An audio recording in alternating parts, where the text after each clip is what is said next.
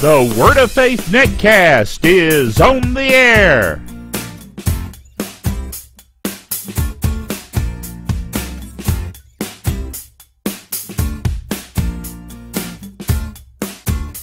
Well, praise the Lord. This is Dr. Bill Bailey, and this is the Word of Faith Netcast. I'm sure glad you could join us for another Netcast today as we get into some really important things from the Word of God, and it's going to be a blessing to you because it is the Word of God. God's Word is truth.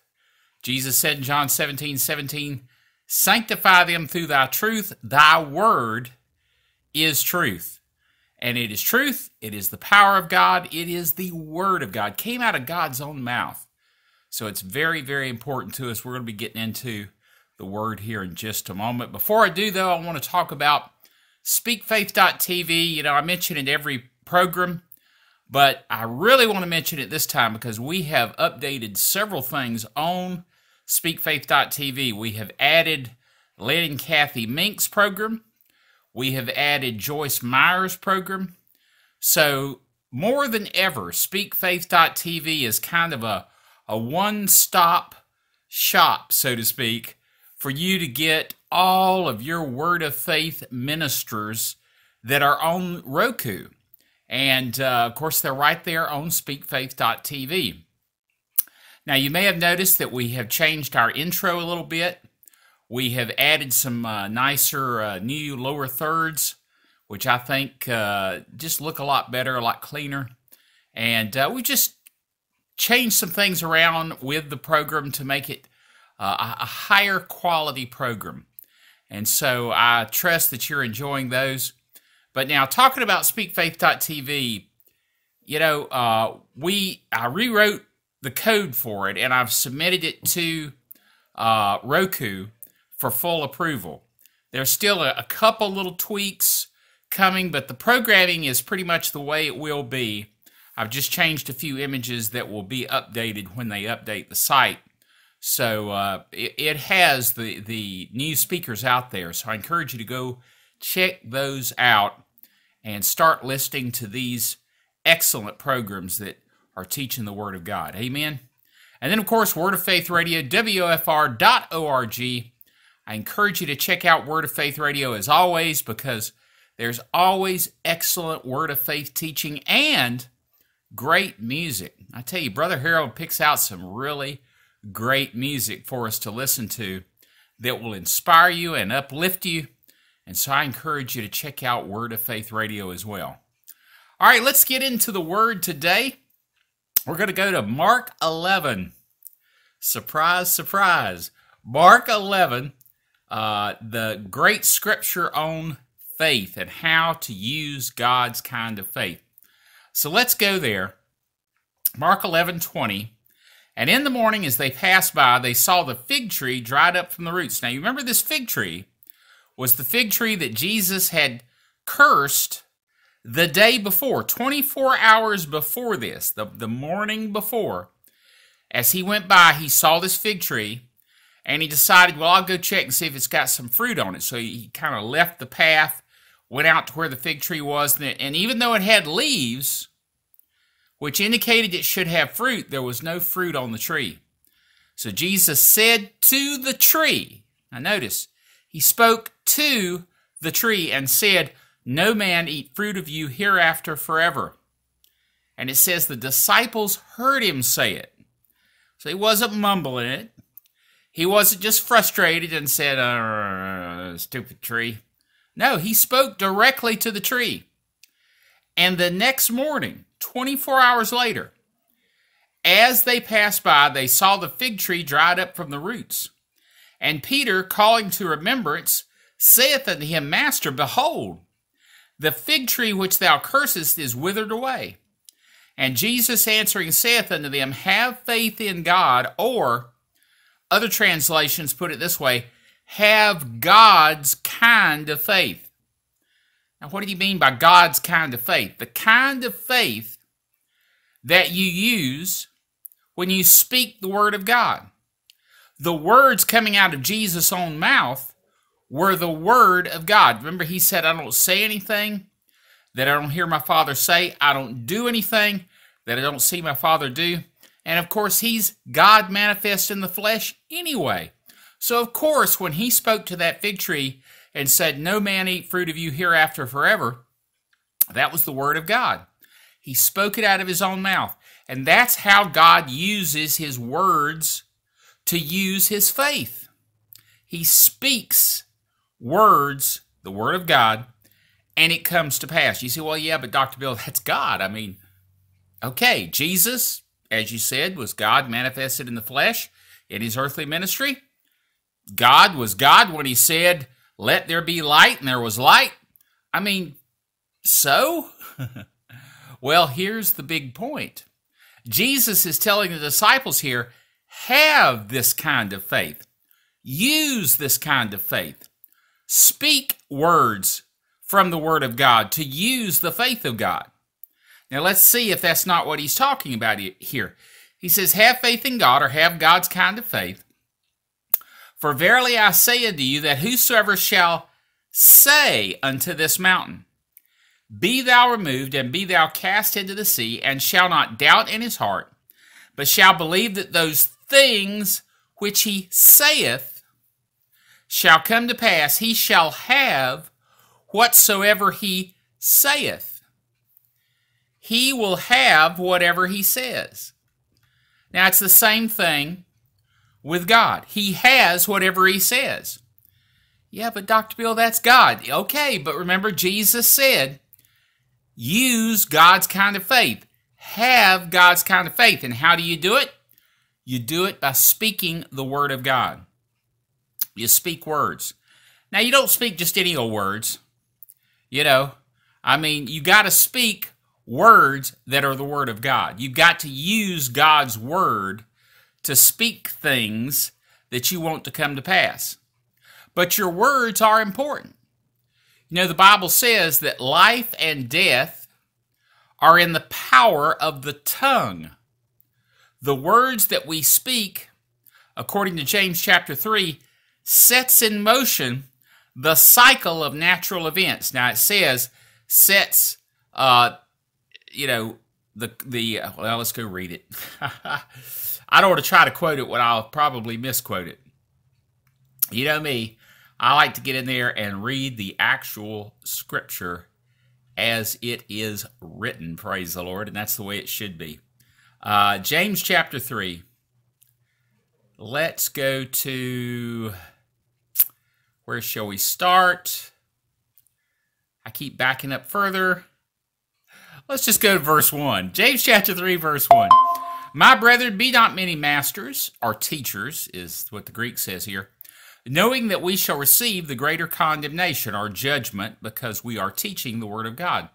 For in many things we offend all. If any man offend not in word with his words, the same is a perfect man or mature. The word perfect there doesn't mean squeaky clean perfect, it means mature and able also to bridle the whole body. Behold, we put bits in the horses' mouths that they may obey us, and we turn about their whole body. Behold also the ships, which though they be so great are large, uh, and are driven of fierce winds, yet they are turned about with a very small helm or rudder.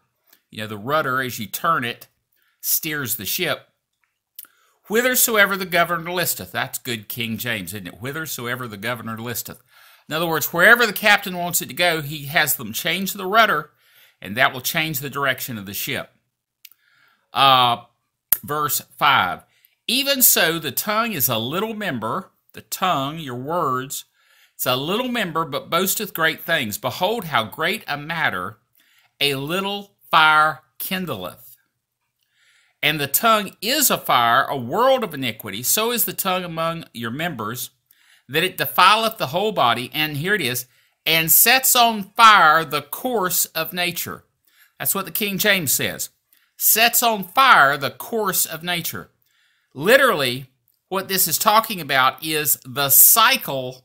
That's what it talks about if you look at the Greek. The cycle of natural events in your life are set in motion by your tongue. Let's keep reading. And it, the tongue, is set on fire of hell. See, that's what Satan would try to do is get a hold of your words and have you speak against yourself. Now you might say, well, Dr. Bill, I'd never speak against myself. Oh, really? How many times have you heard on TV that it was flu season or cold season and you said out of your mouth, Well, I guess I'm going to catch colds that time of year again? Well, do you want a cold? Is that your desire? Well, no, Dr. Bill, that's not my desire. Then why are you speaking it against yourself? You're asking, in effect, for a cold. Well, I'm going to get one. See, you are claiming it. You are receiving it by the words you're saying. Excuse me. Now you might say, well, that doesn't have anything to do with anything. Yes, it does. Because you set in motion the cycle of natural events. Excuse me. You get a little something caught in your throat. You set in motion the cycle of natural events when you speak words out of your mouth. There are a lot of people that say, well, you know, I'm going to get my car one of these days, I'm going to have a car wreck. Well, why speak that on yourself? Why claim it? Why receive it? You see, literally, your words are actually being set in motion by Satan, who is tempting you to speak words of doubt and unbelief. He's putting pressure on you to speak against yourself and set in motion the cycle of natural events in your life. Now, I'm going to go back over to, to our scripture in uh, Mark 11. Get back there. I took a little side journey there, but that's okay. We needed that side journey to stay on course, stay tracking here. But let's look at Mark 11, back in verse 24. Therefore, Jesus said, I say unto you, what things soever you desire, when you pray, believe you have received them, and ye shall have them. Now, when are you supposed to believe that you have received? Not a trick question. I'll just wait for a minute here. You believe you receive when you pray. Well, when did you pray? Well, that was in the past, wasn't it? Because you prayed, whatever it was you prayed, and you believed you received when you prayed in the past, right? And you shall have whatever you said. Okay? Now, getting this sequence of events down is critical. First, you have a desire then you go to the Word of God and find out what the Word has to say about that thing. Then you speak God's Word and return it back to Him in prayer. Remember uh, last time we read Isaiah 55 talking about returning God's Word to Him. And that when you return God's Word to Him, it shall not return unto Him void, but it shall accomplish that which He intends it to accomplish. So we speak God's Word back to Him. Now, let's use an example here. Let's say you have symptoms of sickness or disease in your body. And so you find the scripture where it says in First Peter, or excuse me, First Peter. Yeah, First Peter, I was right. 224. Got the old mind going here, tracking where it is. First Peter 224 says, By his stripes, by Jesus' stripes, we were healed. Past tense. Well, if we were healed, then we are the healed, right? Amen. So we take that scripture and we say, Father God, I receive my healing. As you pray here, you're praying God's word back to Him. Because Jesus bore my sicknesses, He carried my diseases, and by His stripes we were healed. So you return hit the scripture to God. You speak God's word back to Him. Now, at that point, you have prayed. Past tense, right? At that point, you stand on what you have prayed. You believe you have received what you have prayed. Now, look, Believe you received it at that moment. When did you get healed? When you prayed. Well, yeah, but I, I still have symptoms in my body. Don't let that bother you. Don't let that affect you. Don't look at yourself and say, I'm still weak. No. The Word of God says, let the weak say, I am strong. That goes back to this principle of speaking the Word of God in order for it to come to pass in your life. So you may feel weak physically, but you say with your mouth, I am strong. That's what God tells us to do. Now, God tells us to do that in His Word. A lot of people say, well, i would be lying if I said I was strong when I feel weak. Well, then God shouldn't have said, when you're weak, say you're strong. Wouldn't he, wouldn't he know you would be lying? No, there's a principle at work here. The principle is you're not reporting on, excuse me, how you feel physically at the moment. You are claiming with your mouth the promise of God that you are to be made strong. Let the weak say, I am strong. Another scripture says, The Lord is the strength of my life. I've been confessing that ever since I got out of the hospital. The Lord is the strength of my life. If I get up and I start walking from point A to point B, and I feel myself getting weaker, I'll say out loud, The Lord is the strength of my life. I'll, I may follow it up with a scripture that says, I can do all things through Christ who strengthens me. See, I'm laying hold with my words on a promise of God. The promise of God is strength. The promise of God is He is our strength. The promise of God is I can do all things through Christ who strengthens me. So, how do I lay hold on that strength? I speak words that enforce strength in my life that in effect strengthen me because I'm obeying the Word of God. I'm doing the Word of God. It's the same way, a same principle is used in other areas. Matter of fact, the same principle is used when you got born again. After all, what does Romans chapter 10, verses 8, 9, and 10 say?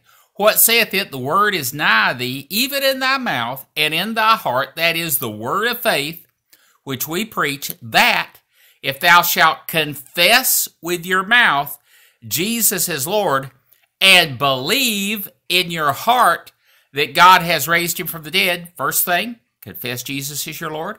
Second thing, believe God raised him from the dead, you shall be saved. Same principle. You speak the word of God back to him, you receive it by faith, you walk it out and you're saved. That's how it works. That's the way the things of God work. Okay? So it's the same thing with healing. You go find scriptures that say you've been made strong. You go find scriptures that say you're the healed of the Lord. You go find scriptures that say, I am the Lord that healeth thee. Okay? Then you speak those words out of your mouth which brings it into your life and sets in motion the cycle of natural events in your life for it to come to pass, to become into manifestation. Now that's what we're all after when we pray is the manifestation. And that's what Jesus is saying here. He says, let's go back and read it, verse 24. Therefore, I say unto you, what things soever you desire when you pray, believe you receive them when you pray. Believe you receive them right at that moment, and ye shall have. The shall have is a future tense, isn't it? The believe you receive when you pray is a right now present tense. So you believe you receive right now. Dr. Bill, when were you healed? Right now when I prayed. You don't look healed. You don't sound healed. You look like you don't feel healed. No, I don't care about any of that. I have set in motion the cycle of natural events, and my body will respond to it. I'll get stronger. Symptoms will go away. I mean, when I was in the hospital, they told me my organs were failing. They told me my kidneys were failing. They told me my liver was failing. They told me my heart was failing. I said, no. I don't receive that report. I receive the report of the Word of God that says I've been made whole, that I'm healed, that God is the Lord that healeth me. I laid hold on that by faith. I begin to confess that I'm the healed of the Lord. Every cell and every organ of my body functions perfectly, just as God designed it to function.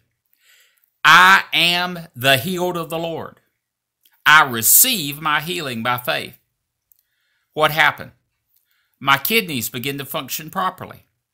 My heart began to function properly. My liver, which wasn't functioning well enough to keep the fluid from gathering around my gut, they had to do a procedure called paracentesis where they drain the fluid off every few days. My liver started functioning again. Well, they scratch their heads. Oh, this isn't supposed to happen. It's it's not curable. But I don't have the fluid around my gut anymore. I don't have to go have paracentesis. I'm getting stronger every day. What I said, what I prayed, began to come to pass because I made a decision to believe and receive. Now, there's a lot of people say, well, Dr. Bill, I, you know, that sounds awfully arrogant that you decided to believe to receive. See, if I didn't decide to believe to receive and stand on the Word of God, I would not have had. Amen. I wouldn't have had the manifestation. Now, the manifestation is ongoing. Okay? It's like Jesus has, you know, he prayed for people and it said they begin to amend from that very hour. In other words, they started getting better from that very hour, but they didn't get better instantly. There are plenty of people he prayed for that did get better instantly. That's called a miracle. A miracle is an instantaneous superseding of the natural by the supernatural. Okay? Well, it's just as miraculous, though, to receive your healing by faith and um, begin to amend from that very hour. Let me share something with you that Brother Keith Moore said, pastor of Faith Life Church in Branson, uh, Missouri, and also Sarasota, Florida. He flies back and forth and pastors both churches, both of them called uh, uh, Faith Life Church. But the thing is, Brother Keith Moore made an interesting statement that I really grabbed a hold of. He said, God designed the human body to heal itself. I want you to think about this. Your body, if you get a cut on your finger, that cut will close up and a scab will form that will keep it sealed from bacteria that might try to attack it and get in there. And over time, you begin to amend and you heal up. And it gets to the point that the scab goes away and there's not even a scar left. You know, I've cut my finger, and there's not even any scars right there. Okay? You say, well, big deal. So you healed up. That's right. But his point was God instituted healing into the human body by design. He is the Lord that healeth thee. Remember, I said last time, the very first covenant name that God gave to mankind, told mankind about was, I am the Lord that healeth thee. That's been his nature from the very beginning. So he designed healing into our bodies. What he does when he heals us supernaturally, now listen to this, this is what Dr. Uh, Keith Moore said that really struck me. He just turns up the healing capabilities.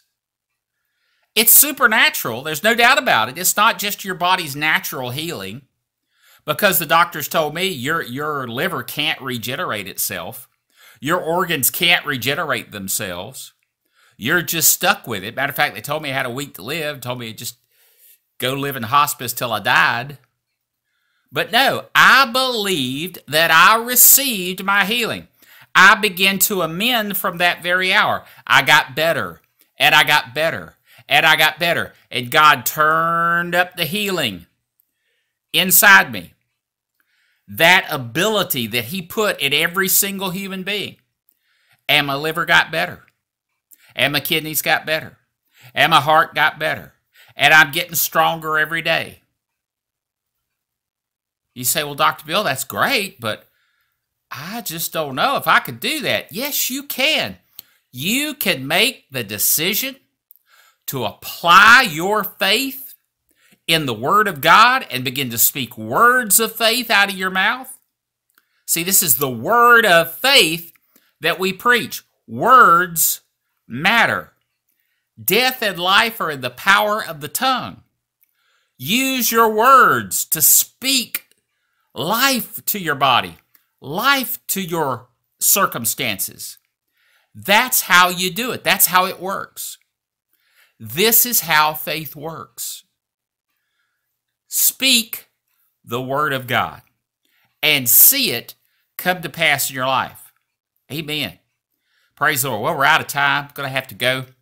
But let me share this with you.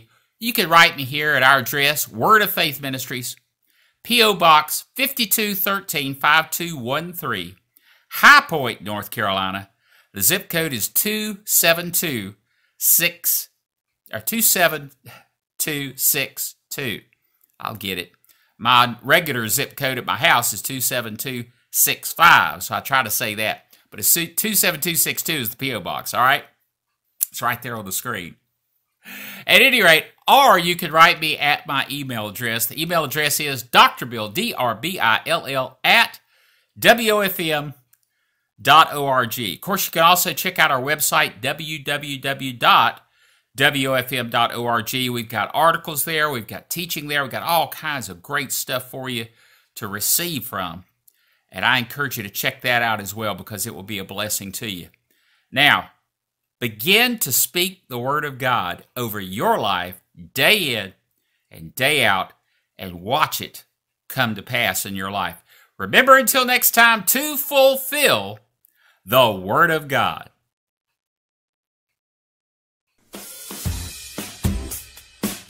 The Word of Faith Netcast is brought to you by Word of Faith Ministries and our partners around the world.